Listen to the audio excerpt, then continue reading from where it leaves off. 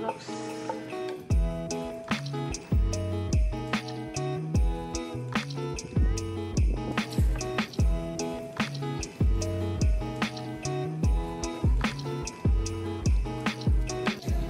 It's still freezing in Illinois, but I'm looking for sandals. Lulu Tube sandals.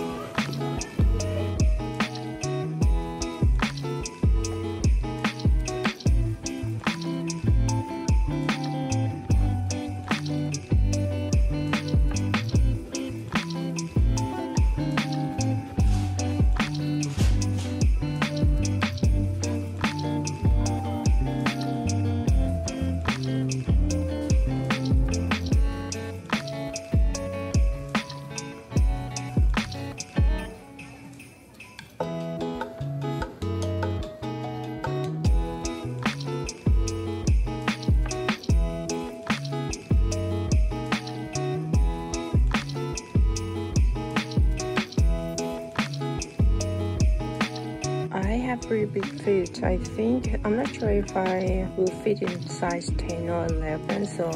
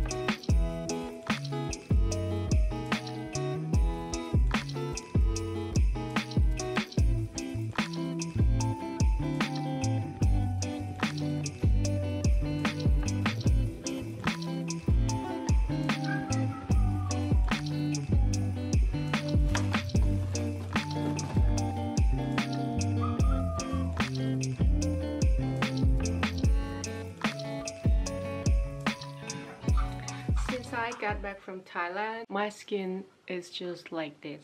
My skin never been this bad, so I don't know what happened. I decided to try this from La Roche-Posay. It's supposed to be the kit for acne, I guess. Two month supply. Pop socket, so cute. Another pop socket. This one is magnetic phone grip, so you can pop it in and off anytime you want. It's not like this one. This one is basic one, so it has sticker behind it. You have to stick it onto your your phone case. I think it's pretty pricey, like full price for I think $29.99. I think it's 30% off. That's why I would like to try it. I get bored easily with phone stuff like phone case, phone uh, grip. So that's why I want to try this one because I switch out my phone case all the time. This part is supposed to be magnetic again. I'm not sure how you actually pronounce the name of this brand, but I'm trying it for the first time. I also got loungewear from my favorite brand at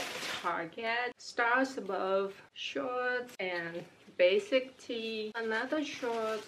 They're just so so soft. I also got this for my acne as well. I heard good stuff about this guy. It's been forever since last time I vlogged. Uh, yesterday was my birthday. Johnny asked me where I want to go. So I told him I wanted to go to Target. Then we went to Target and today my neighbor, she wanted to go to Target. I went to Target with her again. Heidi!